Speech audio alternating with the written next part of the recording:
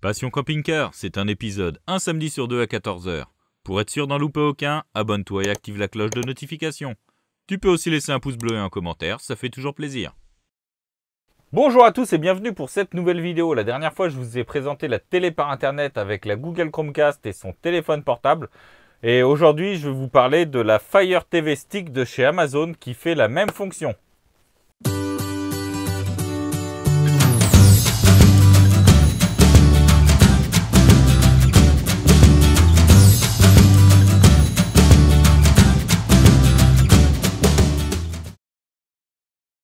Alors comme je le disais la dernière fois, je vous avais présenté la télé par internet avec la Chromecast. Pourquoi avoir changé pour le stick TV de chez Amazon? Eh bien, je n'ai pas changé pour le stick TV chez Amazon. C'est juste que ma Chromecast me servait pour deux télés, une dans le camping-car et une dans la maison. Et le problème, c'est que parfois, lorsque l'on partait en camping-car, on oubliait la Chromecast sur la télé dans la maison. Donc du coup, si on captait pas, on était rideau. Donc du coup, pour pallier à ça, je me suis dit que j'allais acheter un deuxième système TV pour en avoir un dans le camping-car et un autre chez moi. Euh, je me suis longuement posé la question, est-ce que je reprends une Chromecast ou est-ce que j'essaye le stick de chez Amazon? Vu les retours que j'ai eu, je me suis dit pourquoi ne pas essayer le stick de chez Amazon et pour plusieurs raisons.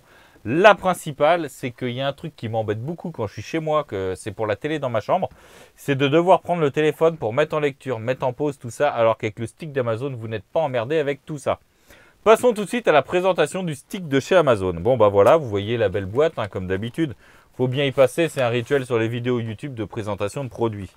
À l'intérieur, qu'est-ce que vous allez retrouver? Eh bien, vous allez retrouver la fameuse télécommande. C'est le nouveau stick de chez Amazon, c'est la télécommande avec plus de boutons et surtout la reconnaissance vocale. Vous avez le truc Alexa dedans.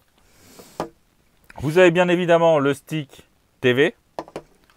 Vous avez les piles pour la télécommande. Vous avez un adaptateur 220 qui ne vous servira probablement pas. Vous avez aussi le câble d'alimentation qui va sur le stick TV pour l'alimenter en USB. Et vous avez aussi hop, une petite euh, rallonge qui sert à déporter le stick TV. Oui, parce qu'il est un peu grand, donc du coup, ça, prend un peu de place. Des fois, ça peut dépasser. Ça permet de le mettre ailleurs. Hein. Vous le connectez comme ça, clac, HDMI là, et puis vous pouvez le replier ou autre. Hein. C'est pas mal comme petit accessoire. Et pour finir, qu'est-ce qu'on a bien évidemment? On a les modes d'emploi que personne ne lit jamais. Alors comme je le disais, c'est la nouvelle version du stick TV de chez Amazon. Alors il y a deux versions qui existent, hein. comme pour la Chromecast, il y a la version HD et la version 4K. Bon, si c'est pour utiliser dans le camping-car, honnêtement, les télé 4K dans le camping-car, hein, déjà, il faudrait avoir une bonne réception avant tout. Euh, moi, j'ai pris la version HD, bien évidemment, parce que de toute façon, la télé chez moi ne faisait pas 4K. Alors, la nouvelle version, comme je vous le disais, le truc en plus, c'est surtout ça, la petite commande vocale. Alors il faut savoir que la commande vocale au début ne fonctionnait que pour Amazon, que pour les services Amazon. Avec les nouveautés qu'il y a eu, avec les nouvelles mises à jour, ça fonctionne aussi pour Netflix, pour YouTube. Ça fonctionne vraiment pas trop mal. Alors pour le branchement sur la télé, il n'y a vraiment rien de compliqué. Hein. Vous branchez ça sur le port HDMI. Si vous n'avez pas assez de place, vous pouvez utiliser la petite rallonge pour le déporter. Comme la Chromecast, il faudra l'alimenter par un port USB. Vous avez le câble qui fournit. Vous le branchez là. Tac et vous pouvez le brancher sur le port USB de votre télé. Alors, il risque de faire comme moi, de vous informer lors de la première utilisation qu'il n'y a pas assez de courant sur la prise USB de la télé. Moi, il me l'a affiché, j'ai été surpris. Euh, j'ai passé le truc et ça a très bien fonctionné. J'ai pas eu besoin de le brancher sur l'adaptateur 220. Regardez, il est encore emballé. Je ne m'en suis même pas servi. Je vous propose tout de suite de regarder la vidéo de mise en service de la Fire TV Stick de chez Amazon. Allez, c'est parti pour le paramétrage de la stick Amazon. Donc dans un premier temps, vous choisissez le langage, c'est tout à fait normal. Là, c'est le message d'information que je vous disais où il dit qu'il n'y a pas assez de puissance sur la prise USB. Vous pouvez passer ça, ça fonctionne très bien. Il vous recherche le réseau et il vous affiche tous les réseaux qui sont disponibles, qui sont à sa portée. Vous choisissez le vôtre et vous mettez votre mot de passe de réseau.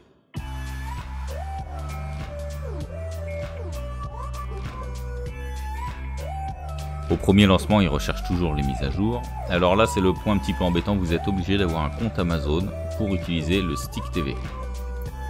Soit vous avez un compte et vous renseignez adresse mail et mot de passe, ou soit vous n'avez pas de compte et là vous êtes obligé d'en créer un.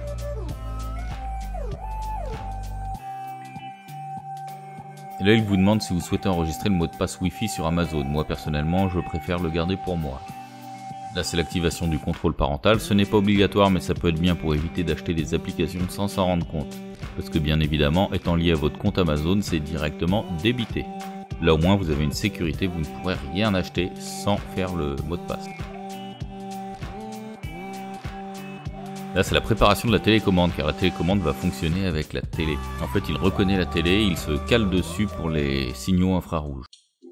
Et là, c'est le moment où il vous demande de tester si ça fonctionne bien au niveau du son, plus moins.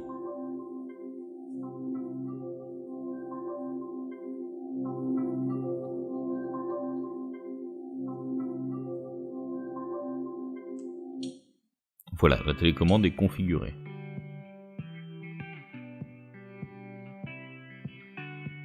Là, il vous demande ce que vous allez sûrement utiliser. Hein. Vous avez le choix entre plein d'applications différentes. Moi, j'ai mis les trois principales que j'utiliserai.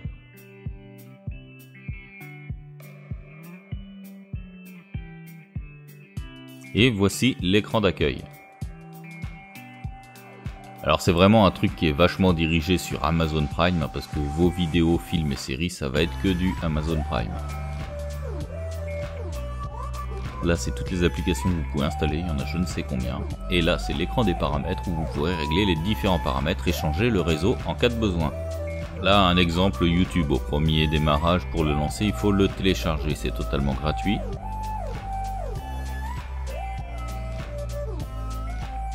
Donc voilà, vous voyez, quand vous voulez télécharger un truc, il faut faire le code PIN. Sauf que moi, j'ai eu un petit souci, j'ai eu ce message d'erreur. Alors ce message d'erreur, c'est tout simplement parce que à ce moment-là, je n'avais pas d'adresse de définie comme par défaut. Donc j'ai dû aller me connecter sur mon compte Amazon et faire définir comme par défaut, et ça a réglé le problème.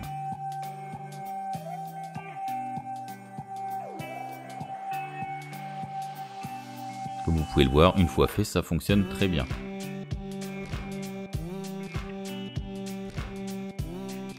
Là, j'ai testé les fonctionnalités Netflix, hein, voir euh, comment ça a changé comparé à une télé connectée.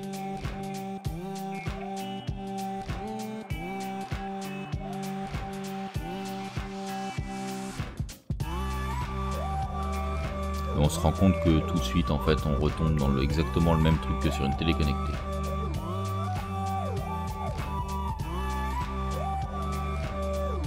Le chargement est quand même assez rapide. Comme on peut voir, on peut avancer avec la prévisualisation. C'est vraiment, ça devient, votre télé devient vraiment une télé connectée avec ça. Alors là, j'ai testé le système de reconnaissance vocale aussi, parce qu'il faut savoir qu'on peut lui demander des séries, tout ça, avec la reconnaissance vocale, et je dois avouer que ça marche plutôt pas mal. YouTube. Voici YouTube. Passion camping-car, YouTube. Recherche sur YouTube.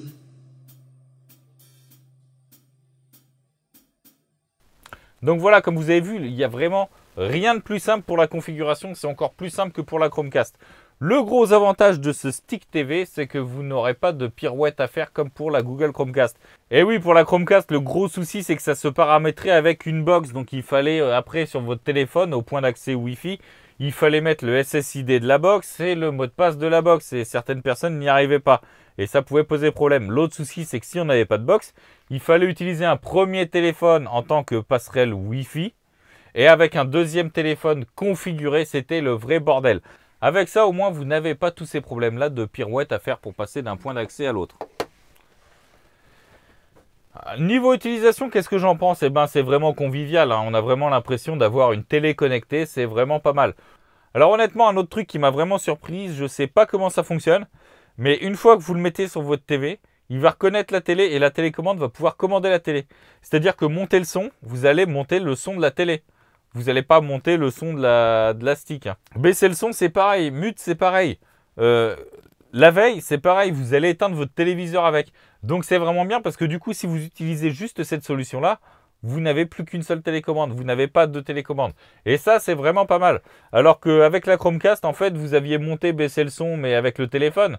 Mais ça montait jusqu'à un certain point, en fait. Il fallait prendre le relais avec la télécommande de la télé.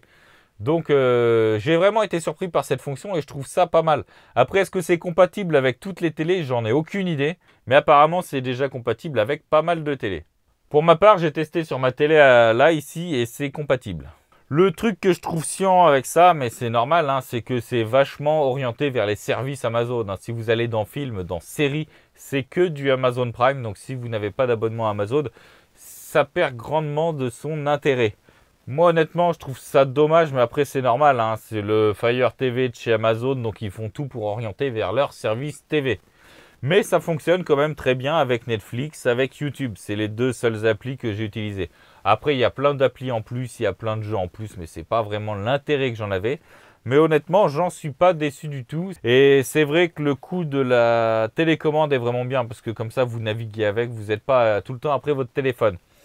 Pourquoi je ne l'utiliserai pas dans mon camping-car? Eh bien parce que dans le camping-car, de toute façon, il faut activer le point d'accès mobile, machin. Donc euh, autant recycler la Chromecast dans le camping-car et garder le stick TV chez moi où je m'en servirai le plus souvent.